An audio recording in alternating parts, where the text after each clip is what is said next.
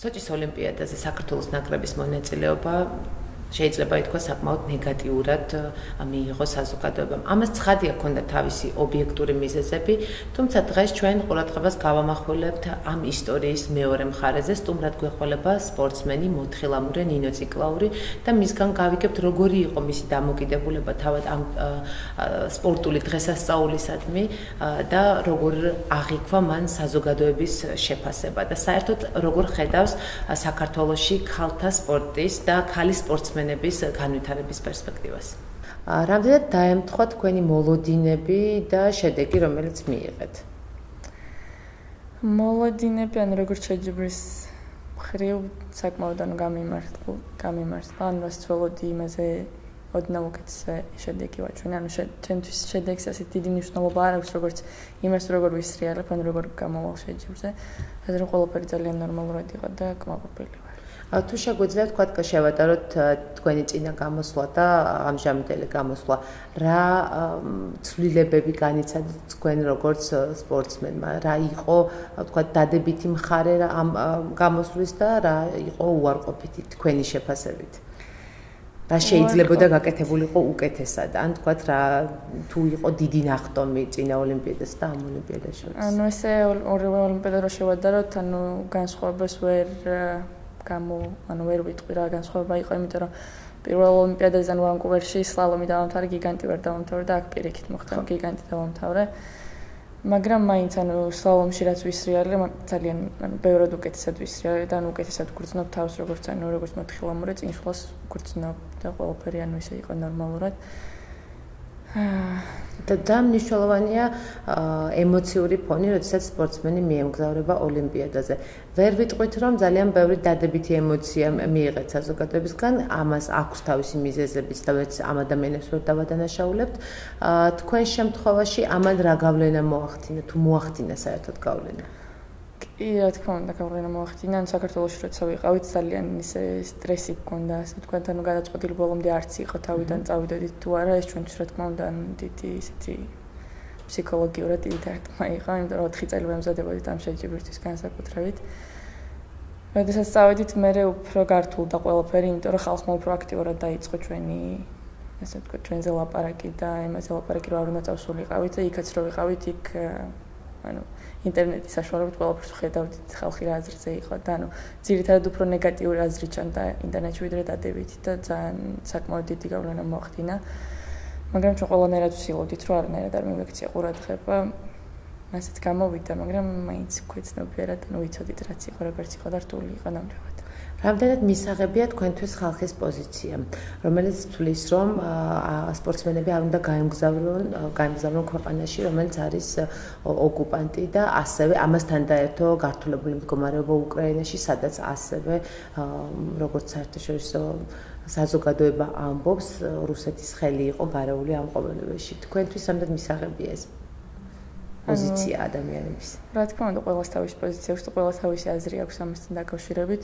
Ну ჩვენ ახლა ძირითადად სპორტსმენები ვცხოვრობთ სპორტული ცხოვრებით და პოლიტიკას ნამდვილად ანუ დიდად არ მივსდევთ ასე ვთქვათ მე პირადად პოლიტიკაში ნამდვილად ანუ არ ვერკვევი და არც მინდა რომ გავერკვია სპორტსმენი ვარ და იქ წავედი როგორც სპორტული სპორტ როგორც სპორტსმენი ხო იმათ ვინც ანუ პოლიტიკურად ფიქრობდა რა თქმა უნდა ანუ შეიძლება თავის გამართლება გქონდეთ. ანუ თამანდელ გადასახედან თქვენ მაინც თulis რომ თქვენი გადაწყვეტილება იყო სწორი. რამდენადაც თქვენ ხართ სპორტსმენი. ზოგადად საქართველოსი ქალი სპორტსმენებისთვის რამდენად არის საჭირო გარემო და ინფრასტრუქტურა მოწყობილი? საქართველოს საერთოდ სპორტი ქალთათვის და განსაკუთრებით არ არის ისეთი ცნობილი ან განვითარებული. ძირითადად უფრო ისეთი ბიჭური სპორტებია. მაინც ცნობილი მეც ახლა ანუ როგორც მოთხილამურე ძირითადად მოთხილამურები საერთოდ არიციან ანუ სამთრის სახეობა არა ისეთი ცნობილი საქართველოს განსაკუთრებით ანუ ქალთა ნაკრები არა მარტო მოთხილამურეები ის რომ ოლიმპიადაზე ხარ შენი ნაკრების მედროშე, რაიმე განსაკუთრებულ პასუხისმგებლობას ანიჭებს ადამიანს? კი, ნამდვილად ანუ რა შეგრძნება ახლავს ამას? აა, რა თქმა უნდა, პირველ რიგში სიამაყე იყო ჩემთვის, ანუ ძალიან მომაყობდი რომ მე ვიყავი ეგ ადამიანი, რომელსაც დროშა უნდა გაიტანა გახსნის ცერემონიაზე და წარედგინა საკუთარი ქვეყანა საქართველოს. დიდი პასუხისმგებლობა იყო და ძალიან ნერვიულობდი, ანუ ისეთი იყო, ანუ ყველაზე პატარა ვიყავი ნაკრებში, თან ჩვენ წარმომადგენელი. და გახსნაზე ვიყავი ერთი გოგო, იმიტომ რომ ელენი არ იყო ჩვენთან, ვინ ჩამოვიდა კი და თუ იყო პუბლიკა, რომელიც იყო თქვენი გულშემატკივარი საქართველოს ნაკრებისთვის მოსული და თუ იგრძენთ ესე ვთქვათ პირადი კომუნიკაცია თუ გახსნაზე არა, მაგრამ შეჯიბრზე მოვიდნენ, რამოდენიმე 3-4 ქართველი მოვიდა დროშებით. საკმაოდ გავუკვირდა, იმიტომ რომ არც ვიცნობთ არ პირველ შეჯიბრის მე გამოველაპარაკეთ და იქ გავიცანით. საკმაოდ დადებითი ემოციები იყო, ანუ არ ველოდით და უცბად გამოსცა საქართველოს დროშა, არა ჩვენი ნაკრებიდან, არამედ უბრალოდ ხალხისგან, ქართველი ხალხისგან, რომელიც სოჭში ცხოვრობდა. როგორ ხედავთ თქვენ კარიერულ ზრდას იმ პირობებში, როცა ახსენეთ, რომ ქალთა სპორტისთვის და ქალი სპორტსმენებისთვის ძალიან არ არის ჩვენი ქვეყანა მზად და პრინციპში თქვენ მომზადებას გადიოდით უცხოეთში, პერსპექტივაში რა პერსპექტივა აქვს თქვენს საქმიანობას ამ შემთხვევაში, რომ ანუ როგორც სპორტსმენი როგორ ხედავთ, ხო? რა თქმა უნდა, რომ უფრო წინ წავიდე და მსოფლიო ჩემპიონატებზეც გამოვაჩინე საქართველოს სახელი, არა მარტო ოლიმპიადაზე. ანუ ძირითადი მიზანი ეგაა ჩემი, რომ უფრო ცნობილი მოთხილამურე გავხდე, ასე ვთქვა, წარმატებული და მე იმედი მაქვს, რომ დაინახავს ხალხიც და უბრალოდ ცოტა ყურადღება მაინც იქნება სხვა თუ არაფერი. რა არის აუცილებელი იმისთვის, რომ ეს მდგომარეობა შეიცვალოს, ეს ყურადღება რას უნდა მიექცეს ყურადღება? სპორტს უბრალოდ, ანუ ხალხმა ჩემი აზრით საქართველოში ძალიან ცოტა ადამიანი ცხოვრობს სპორტულად. ანუ ყველაზე იზარება ასე ვთქვათ ქართულმა ინწარმოებები ვართ ერთად მაგამ ხრივ სპორტის მხრივ და თუ ცოტა გავიგებთ სპორტული ცხოვრება როგორია მე როგორ ყველაფერი ნორმალურად იქნება.